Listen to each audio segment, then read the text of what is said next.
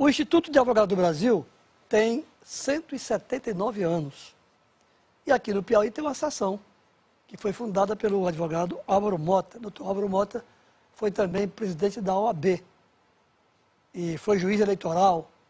E ele fundou aqui a subseção, a seção do Instituto dos Advogados. E nessa semana houve uma movimentação aqui do Instituto e ele trouxe a Teresina, a presidente nacional do IAB, que é a advogada Rita Cortez.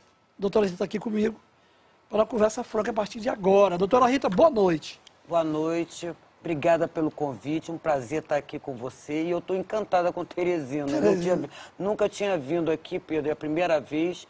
E realmente fui muito bem acolhida aqui na cidade. E principalmente por Álvaro Mota, né, que é meu amigo, meu colega, você também é um colega.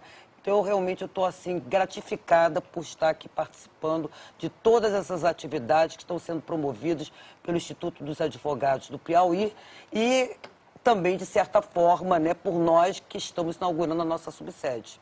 É, o doutor Álvaro, ele é um abnegado. Quando Sim. ele deixou a, a OAB, ele tratou logo de fundar o IAB no Piauí. E me chamou, foi um dos primeiros a ser filiado, né? E ele tem se dedicado muito a essa causa. Como é que a senhora encontrou o nosso IAB aqui? Olha, eu encontrei. Na, na realidade, o Álvaro é o nosso representante do IAB aqui no Piauí. Piauí. Né? Ele é presidente Tá em boas do... mãos? Tá muito boas mãos. Eu estou assim impressionada com a liderança do Álvaro. Ele é realmente uma pessoa muito querida. Acho que essa passagem que ele teve pela Ordem dos Advogados do Brasil aqui da seção da seccional do Piauí realmente deu um upgrade, né? Vamos dizer É. assim na, na, na projeção dele. E hoje o Álvaro é uma pessoa conhecida nacionalmente. Na medida que ele está ajudando o Instituto dos Advogados Brasileiros a também se fixar aqui no Piauí, é lógico que a imagem de Álvaro se projeta para todo o Brasil. Senhora teve na Assembleia, teve solenidade lá, não foi? Teve, teve uma solenidade lá, também foi muito bonita, eu fui homenageada. Eu quero agradecer muito ao presidente da Câmara dos Deputados, a- enfim, a quem idealizou fazer o evento. Acho que Álvaro tem um, tem um pouquinho de Álvaro. digital dele lá. É, tem a digital dele, tem a digital de Fides. Doutora já que foi presidente também, doutora Fides. Que também é, foi presidente. É. Aliás, eu, eu, eu já disse hoje que a Fides foi uma advogada revolucionária. Né, porque nós agora estamos conseguindo colocar cinco Ela mulheres foi a primeira do Brasil. é, na, na presidência Pioneira. da. É, pioneira. E com três mandatos. Três Exatamente. mandatos não, realmente não é uma. Não é para qualquer um, eu disse assim, não é para qualquer pessoa. É, a, a criou aqui a medalha Esperança Garcia, Nós vamos criar ainda, Pedro. lá, né? Não, nós vamos criar a Esperança Garcia de forma a homenagear Em nível as mulheres. nacional? Em nível nacional. Ah, Mas, mas é lógico que a gente vai tentar fazer a primeira, a primeira outorga dessa medalha aqui no Piauí. No Piauí. Porque foi a, a Ordem dos Advogados do Piauí que reconheceram né, é, a, a, vamos assim, a prática, né, a atividade Da da, Esperança advo- da advocacia da- da, advogada. Esperança Garcia. aquela petição que ela fez ao... Exatamente. Ao vice-rei. Então ela, na verdade, ela incorpora o espírito da advocacia. Doutora Rita, a, a, a pessoa vê assim, IAB ou AB? Qual é a diferença? Se confunde? Um, uma- um pode atrapalhar o outro ou ajudar? Como é? Olha, quase se confundem, Pedro, porque eu vou usar uma expressão que eu sempre utilizo, o pessoal começa a achar que é brincadeira, mas não é. Nós somos pai, mãe, avô, avó da Ordem dos Advogados todos do eles. Brasil.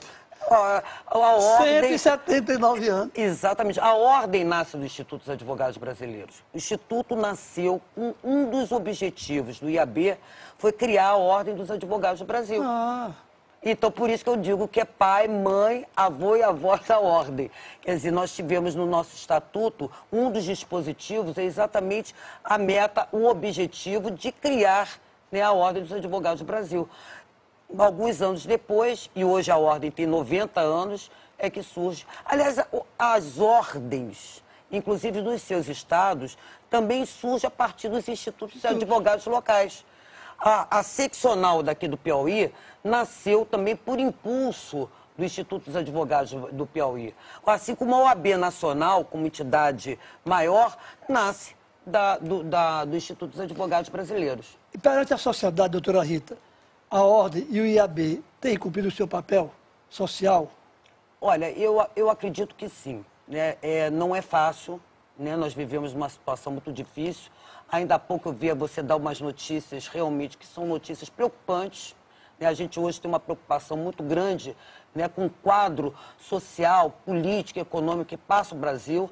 Então, acho que a ordem, da sua maneira, a ordem mais corporativista, quer dizer, ela, é. ela, ela cuida da, da regulamentação, da, da, disciplina, da regulamentação e também de um posicionamento da advocacia do ponto de vista social, político, cultural. E a, o IAB, ele tem mais um perfil acadêmico. Acadêmico, mas nós, nós pavimentamos, através dos nossos pareceres, através da nossa opinião, opinião técnica, exatamente essas atividades que são desenvolvidas pela ordem e por outras entidades também. O IAB está presente do Brasil todo? Não, nós começamos, nós estamos inaugurando a partir da criação das subsedes. Então, nós estamos nos fixando. O, o IAB ele já foi criado com, com assim, abrangência nacional. Mas hoje a gente está dando os primeiros passos. Nós criamos as representações estaduais. Então, o Álvaro hoje é o nosso representante do IAB aqui no Piauí, só para dar um exemplo. E estamos abrindo as subsedes. Então, nós já tínhamos uma subsede no Distrito Federal.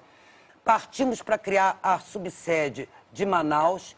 Em seguida, criamos a, a, subsede em Rondônia. Estamos aqui no Piauí, abrindo a nossa subsede.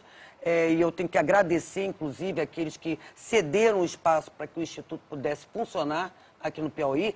Em seguida, vamos pra, para o Ceará, vamos abrir a nossa subsede no Ceará, depois Sergipe, e daí todo o Brasil, com certeza, porque vontade né, e disposição de ah, não só de constituir essas representações e abrir as nossas sub subsedes, não falta, Pedro. O IAB tem acompanhado esses debates nacionais aí, na parte política, que lá tem um arranhão entre o Executivo, o STF, o Congresso.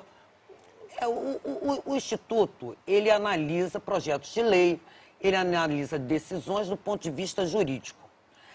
É uma, eu acho que uma, um grande diferencial na nossa gestão, nesses quatro anos que eu tive a oportunidade de estar à frente, com muito orgulho, estar à frente do IAB, nós partimos para discutir temas que interessam à sociedade. Obviamente, por exemplo, uma situação, uma crise de energia, hum. né, é, hoje é um ponto que é, inclusive, vai ser objeto de ensino na nossa escola, que nós temos uma escola, que é a escola, é, do, a escola Superior do Instituto dos Advogados Brasileiros, que é o ESIAB. Então, o ESIAB vai fazer um curso sobre direito de energia. E assim por diante. Então, nós já falamos sobre impeachment, já falamos sobre a questão da democracia, da necessidade de se, de se reafirmar a democracia no país. Enfim, todos esses temas, que são temas tanto do, eh, que são temas tão, tão políticos como é, jurídicos, nós estamos colocando isso em debate, em discussão no, no Instituto. E, e firmando a nossa posição, corajosamente dando a nossa posição. Nós submetemos ao nosso plenário, nós fazemos sessões plenárias. Não fica em cima do muro. Não, não ficamos em cima do muro. Porque posição. todas as quartas-feiras a gente tem os pareceres, submetemos à discussão, os, os pareceres são votados e se prevalecer a conclusão da comissão, é, que nós temos várias comissões, são várias comissões temáticas, comissão de direito penal, criminologia, trabalho, é, direito civil, enfim, todos os segmentos do direito, é, até o pessoal que estiver me assistindo, que me perdoe, porque não dá para enumerar todas é, as comissões, tá. não dá. Mas, enfim, nós colocamos isso em, em deliberação e, enfim, se, se tiver uma, um posicionamento que coincida com aquele parecer, a posição do Instituto está ali firmada. Está firmada, né? A doutora Rita veio do Rio de Janeiro, não é, doutora? É, do Rio de Janeiro. Eu disse que o sotaque não é. Não conhecia o Piauí? Não conhecia. Olha, eu lamento muito não ter conhecido antes. Tá e bom, eu agora não, agora eu venho sempre aqui. Eu vou, eu já disse que o compromisso assumido com, com o Álvaro com o Instituto dos Advogados do Piauí, um compromisso assumido com a Ordem dos Advogados aqui da seccional do Piauí, que nós vamos trazer a medalha Esperança Garcia. Eu, eu não sei se vai ser um dos primeiros, que, eu, que aí eu já vai, eu estou praticamente me despedindo do meu mandato, né, mas acredito que o meu sucessor, que é o doutor Sidney Sanches, é, ah, é uma chapa... foi ministro? Não, não, ele não é ministro nem é parente. Mesmo nome, se deixar. É, mas é uma coincidência. Uma coincidência, né? Uma coincidência, mas então, doutor, fica fácil de gravar. É. Doutor Sidney Sanches é o, é o candidato em chapa única, então ele já está praticamente eleito, eleito quer dizer. Pode mas dar... não, não está praticamente. Por favor, Por favor, sócios e sócios, consórcios e consórcios do Instituto dos Advogados Brasileiros, participem da nossa eleição, votem. Tem que dar né? fórum, viu? Não, tem que dar legitimidade Tem e reconhecer que o trabalho foi bem feito, Bem né? feito, Se é. o pessoal não votar, é porque o trabalho não foi bem feito. Minha colega, muito obrigado por ter vindo aqui. Olha, muito obrigado, prazer lhe Pedro. receber. Um prazer também estar aqui com você. Volta quando? Olha, eu, eu, eu, eu não sei, agora eu tenho que esperar que, o- que que o meu presidente, Sidney, vai dizer se assim, vamos lá para o Piauí, vamos lá para o Piauí. Ou então o comando do Álvaro, que é o nosso representante estadual. Muito obrigado, doutora Rita. Obrigada. Conversei aqui com Rita Cortez, presidente do IAB, Instituto de Advogado do Brasil. Um abraço ao doutor Álvaro Mota, que está aqui no estúdio, acompanhando a doutora Rita.